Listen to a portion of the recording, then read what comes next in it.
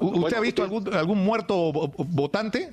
No, Yo lo que entiendo es que se ha acreditado que eso no ha ocurrido. Eh, son fantasmas, No, pero, el problema, capitán, es que uno no puede construir una decisión tan importante como el futuro de la democracia en el Perú en función de lo que dice un medio de comunicación eh, que dijo que la vacuna china era como inyectarse agua destilada o que dijo que, el presidente Sagasti había llamado a Vargas Llosa para decirle que le diga a Keiko que acepte que había perdido cuando eso era mentira. Y Vargas Llosa ha dicho, eso no es cierto. Vargas Llosa ha dicho, eso no es cierto. Ah, eso no, es cierto. ni negar lo que haya expresado algún medio de comunicación. Todos este, pero es su fuente. De escuchar y, en diferentes medios, así como pero usted, usted está, pero capitán, usted está dando como válido eso.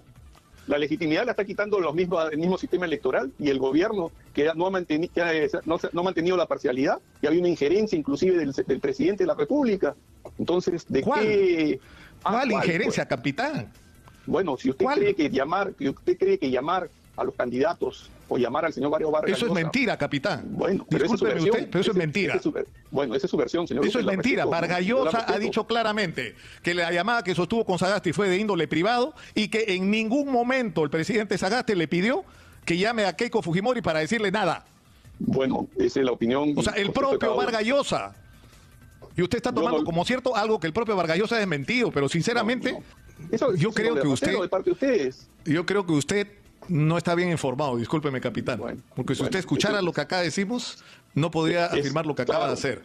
Yo, la verdad que este, no escucho. usted tiene derecho a escoger qué, qué fuentes de información utiliza. Claro, por supuesto. Pero debería preocuparse por confirmar. De opinar, y parece. O sea, ¿sabe, ¿sabe qué es lo que pasa? Sí, dígame. Que me, decepciona un poco porque yo tengo la imagen de un oficial de Marina como una persona rigurosa. Que nunca dice.